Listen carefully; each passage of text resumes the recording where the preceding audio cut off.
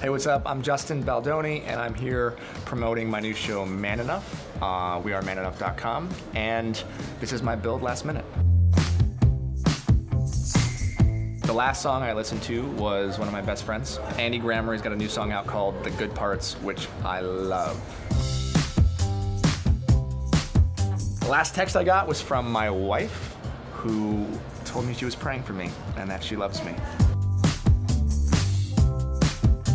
The last time I really laughed was yesterday before I got on the plane uh, because my son spit up all over my wife's brand new uh, sweater that she got and, uh, and then started smiling at me. And when your three month old smiles at you, it's just the best.